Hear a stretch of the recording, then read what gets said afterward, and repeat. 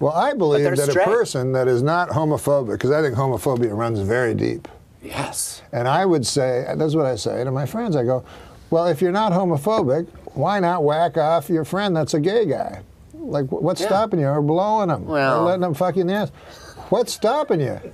You're not getting anything out of it, but he's having a hell of a time. Well, that's where my window of opportunity. I, I bet it is, right?